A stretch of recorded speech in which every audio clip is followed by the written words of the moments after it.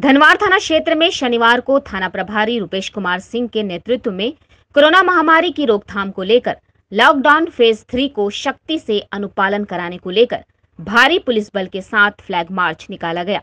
यह flag march पूरे धनवार बाज़ार का भ्रमण करते हुए, धनवार के चांदनी चौक, लाल चौक, नेताजी चौक, बड़ा चौक होते हुए पैदल मार्च करते हुए खोरी महुआ पहुंचकर लोगों से बेवजह घर से नहीं निकलने सोशल डिस्टेंसिंग को शक्ति से पालन करने की अपील की। थाना प्रभारी ने स्थानीय शहरवासियों से सरकार द्वारा दिए गए निर्देशों को शक्ति से पालन करने की भी अपील की। मौके पर थाना प्रभारी रुपेश कुमार सिंह ने कहा कि लॉकडाउन के दौरान लॉकडाउन को तोड़ने या फालतू घूमते हुए पाए जाने पर सख्त कानूनी कार्रवाई की जाएगी। कहा कि किसी तरह के पान मसाले के साथ गुटखा को पूरी तरह प्रतिबंधित किया गया है। बिक्री करते पकड़े जाने पर कठोर कार्रवाई की जाएगी। इस फ्लैग मार्च में एएसआई मुकेश दयाल सिंह, सतेंद्र पासवान के अलावा कई पुलिस पदाधिकारी के साथ बड़ी संख्या में पुलिस बल के जवान शामिल थे।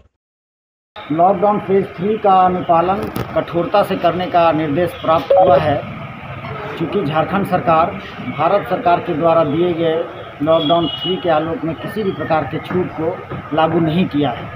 अतः हम लोगों को लॉकडाउन थ्री का अनुपालन कठोरता से कराने का निर्देश है। इसीलिए आज हम लोग धनवार बाज़ार, लाल बाज़ार हरी महुआ एवं विभिन्न स्थानों पर लगभग 10 किलोमीटर फ्लैग मार्च किया गया है और लोगों को ध्वनि विस्तारक यंत्र से लॉकडाउन का अनुपालन करने का आग्रह किया गया है। इसके बावजूद भी अगर लोग कल से नहीं मानेंगे तो कठोर कानूनी कार्रवाई करने के लिए हम लोग तैयार हैं और कल से कार्रवाई शुरू होगी।